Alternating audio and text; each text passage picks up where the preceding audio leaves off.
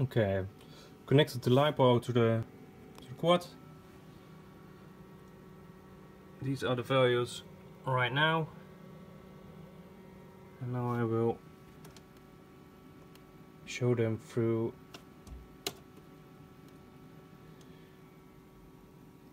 the Horus.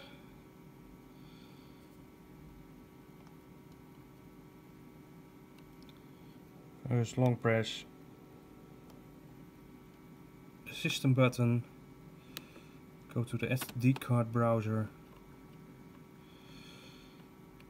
And whoop, to scripts,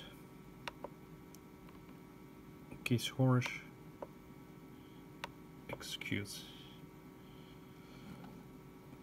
First these are the pages, it's just like a Betaflight right now. First priority was to make them work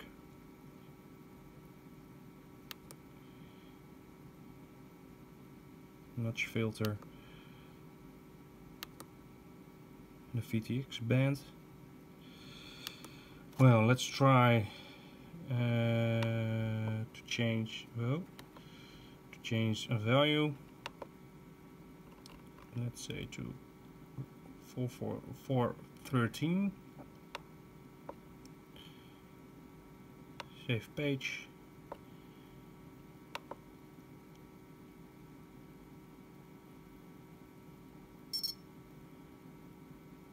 done for 13 and we check here. I saw that you have to change tap for it to refresh. 413. now maybe.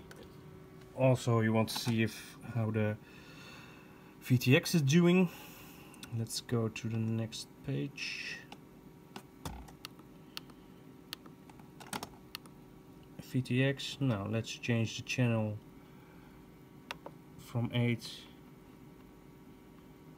to 3. Long press, save,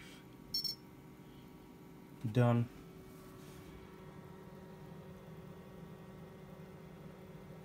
I don't know if you can see it, it's on 8 now.